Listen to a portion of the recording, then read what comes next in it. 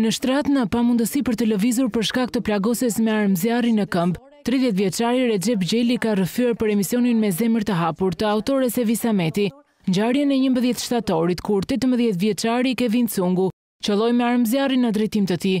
30 vjeçari mohon që të ketë pasur konflikte të mëparshme me autorin.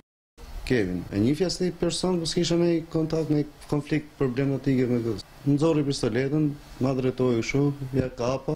Pastaj unë e godita pistoletën e shkrepi. Tha që unë jam si trim, a ku dëgjo, unë jam pastaj trimi më i madhë.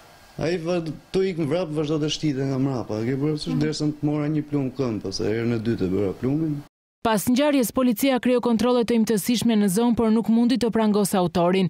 Fakti që tetëmbëdhjetë vjeçari Kevin Cungu është në arrati bën që familja e Rexhep Gjelit të jetojë me frikë. Thotë moj nona unë kam frikë të shkoj se kemi pa nji na ngjan si ai edhe po na shikonte me bisht syut.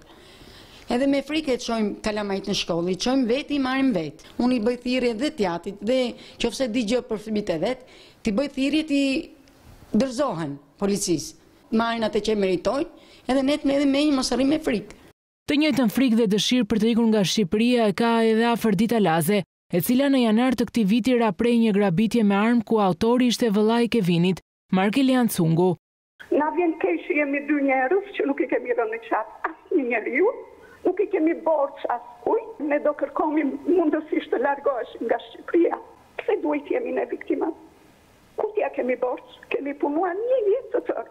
Vëllezërit Markelian dhe Kevin Cungu kanë qenë prej kohësh problem për Policinë e Tiranës, për shkak të tendencës së tyre kriminale. Në studion e emisionit Me Zemër të Hapur, avokati Ndue Pjetra tha se Markeliani është tentuar të blihet nga mafia ruse për një milion euro.